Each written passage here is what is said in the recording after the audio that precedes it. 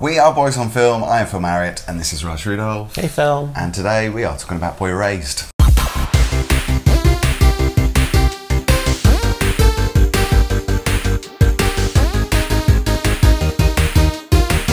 I just love it when a film like this comes along. Brilliant acting, great cast, brilliant direction, and a subject matter which really makes you think about stuff but told in a really compelling way. It's the new movie starring Nicole Kidman and Lucas Hedges, who I think was in Manchester by the Sea. Okay, yeah. That was the last movie I saw him Yeah. in, and I think he's a brilliant actor, but he's surrounded by a great cast here. Yeah, there's lots of critical acclaim for this film. Yeah. Now, we should quickly mention we have asked you recently for a classic movie that you want us to review as part of a poll on our Facebook page and Twitter. And the big drum roll, the overwhelming majority of you said that we should review the 80s movie that was When Harry Met Sally.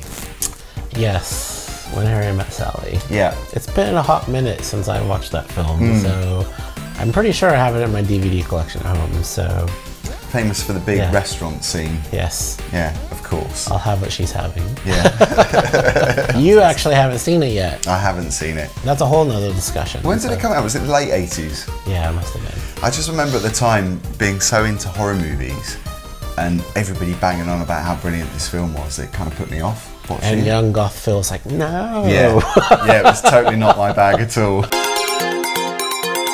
Unfortunately, sadly, um, as good as the film is, got totally snubbed with the Oscars uh, this year. Which I think, is a surprise. Yeah, it got. Uh, I, I think it got a nod for best song in the Golden Globes, but yeah, I think completely ignored by the Oscars this year. The Fools. I know, fire them all. So it's based on a true story. It's adapted from memoirs by Garrard Conley. The character's name is different in this movie. It's Jared Eamons, who Lucas Hedges plays. His mother is Nicole Kidman, and his father is Russell Crowe. Yeah, Uh, I've never really been a massive fan of Russell Crowe in previous movies, but I thought he was great in this. yeah. Neither have I, but I.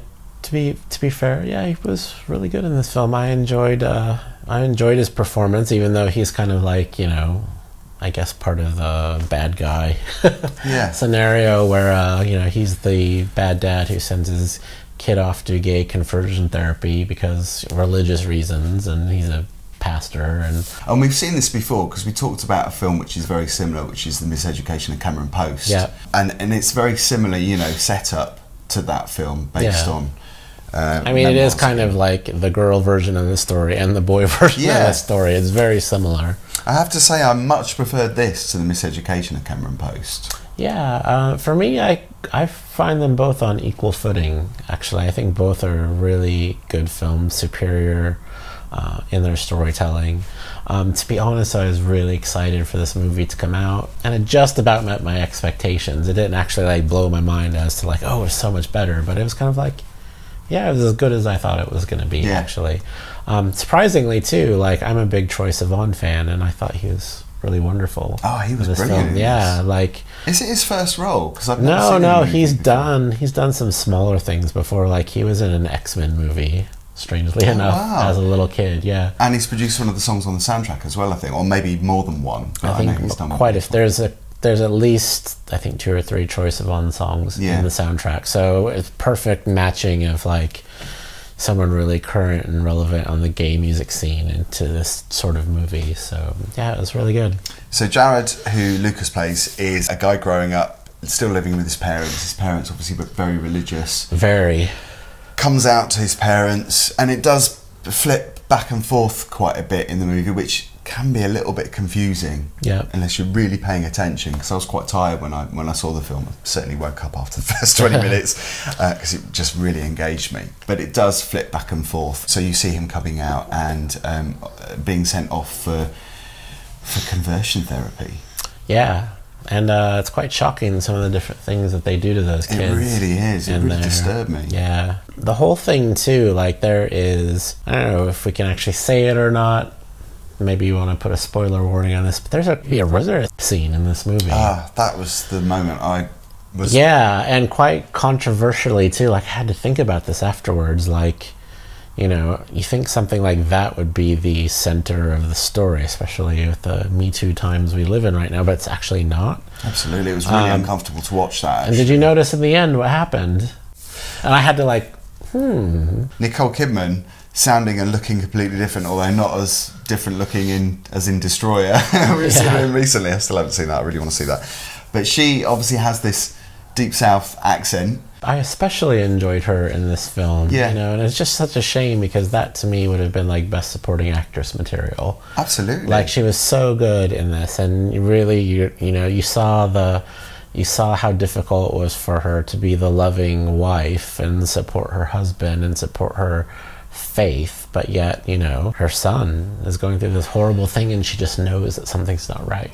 I mean, I'd like to say that Lucas Hedges holds this film because his performance is so terrific and he really does show a person that's going through anguish and turmoil. He's so brilliant. He's such a great actor, and I thought that, you know, in Manchester by the Sea as well. But, you know, I think the whole cast are just superb in this. And Flea from the Red Hot Chili Peppers. Oh God, yeah, horrible. He's just so horrendous Yeah. at the conversion therapy group. Joel Edgerton is a brilliant director. Um, did you see The Gift that he directed? Yep. Thought that was really superb as Yeah, well. He has this I like flair, that. I think, for engaging you and showing something that's tough to watch, but not not being too over dramatic about this. There's a scene in this movie where something happens to Jared's friend Yeah. who's at the group. Can't say what that is, but he walks into the house where his parents are and he goes up and closes his bedroom door and he gives his dad this glance as if to say, you know, you encouraged this, you made this happen almost. Yeah. And it's just little moments like that in this where you see the, the actors just showing such turmoil. I just Yeah. thought I thought the acting was 100% top notch. Yeah, I really just enjoyed this movie thoroughly. Even kind of knowing what movie was going to be about, like, didn't spoil it for me at all. I was just like, whoa, this movie's so good. So Raj, what popped your corn? The actors definitely, all performances down to all the supporting cast to even just the people in the background. Yep. Every performance was really good in this movie. I would completely agree. I thought the direction was great. I thought the script was really good as well. It really made you believe the family relationship. And it's also something that, you know, affects so many people. Scary to think that thousands and thousands of people go through this type of Yeah. experience. Horrendous to think that it still goes on, but you know, it And does. we have a vice president of the United States who supports this sort of thing. So, Yeah. yeah, it's pretty scary. Yeah, it is. For me, I just can't fault anything. There's no spoilers. I just thought everything about this movie was terrific, and I'm going to give it a five star. Ooh, ooh. My first for a while, actually. Wow, wow. The best thing I've seen this year, certainly. Wow, that's Yeah. really impressive. I'm going to give it a four stars. I thought it was really good.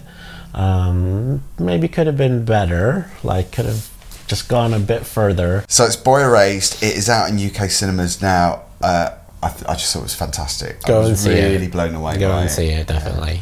A big thumbs up for me. Uh, don't forget to give us a thumbs up if you've enjoyed this video, and we'll be back soon. Thank you.